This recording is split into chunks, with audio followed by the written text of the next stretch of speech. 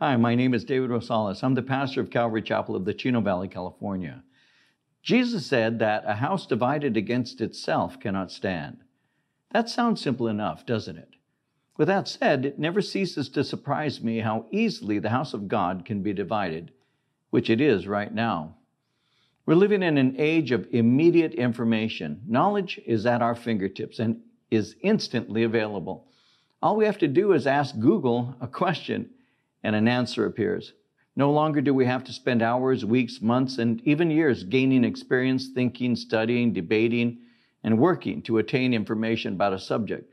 All we need to do is type in a question, and instantly we're an expert on any subject we desire. Do you want to be an expert on the coronavirus?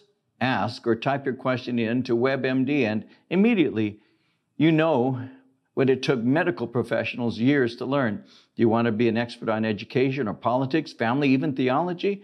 Type your question in. When you find the answer and, and you agree with it, you publish it, and bang, you're an instant expert. Doesn't matter if it's accurate, doesn't matter if it's true, doesn't matter if you understand what's being said. The only thing that matters in this entire universe is that you agree with it and it feels true to you. Like the old song says, it can't be wrong when it feels so right.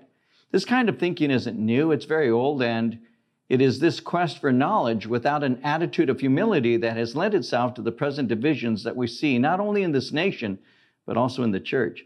Something I have noted that has discouraged and even grieved me is the obvious lack of spiritual discernment amongst many who routinely post on social media.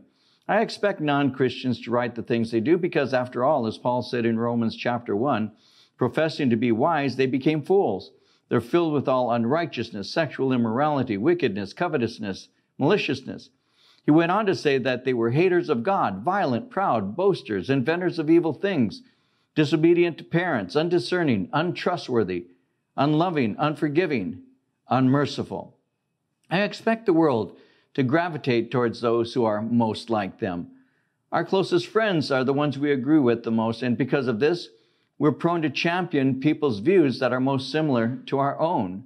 What is concerning to me is that professing Christians are gravitating towards those who have no knowledge of God or respect for believers.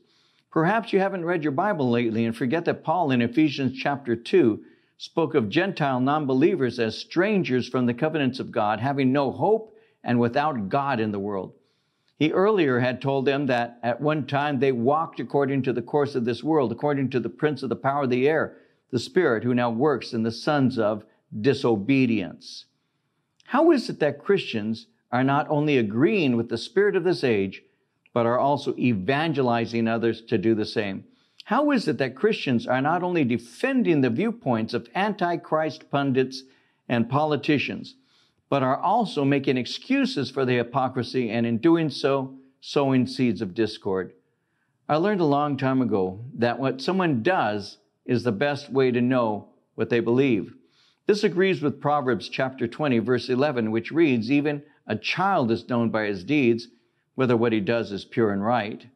After 49 years of walking with the Lord, 47 years of teaching his word, and 41 years since my ordination, I have come to believe that the problem many Christians have today is that they are not reading their Bibles, and if they do, they're not understanding it. If they go to church at all, they're attending churches that are pastored by those who do not teach the Word of God, plain and simple. If they're being taught and they're reading the scriptures themselves, the chances are that they will spiritually mature and gain discernment, something that is lacking today in many Christians. If they're not reading and if they're not being taught, they will walk according to the spirit of this age because it's the natural thing for them to do. To you believers, I strongly and lovingly encourage you stay in the Word of God. Do your best to remain in fellowship with like minded believers. If you're able to attend church services, make every effort to do so. If you can't, make an effort to join with other believers online so that you can remain being taught.